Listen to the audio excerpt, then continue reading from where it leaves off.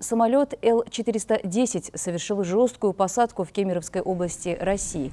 Количество погибших в результате падения самолета выросло до 9 человек, сообщил об этом руководитель регионального отделения Добровольного общества содействия армии, авиации и флоту России Кемеровской области Виктор Шимаханов. По его словам, два члена экипажа и семь парашютистов погибли. На борту было 17 парашютистов и два члена экипажа. Самолет находился в исправном состоянии и совершал четвертый вылет за день.